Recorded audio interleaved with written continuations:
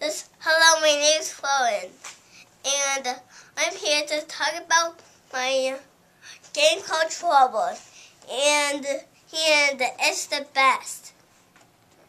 And I'll give you five jelly beans.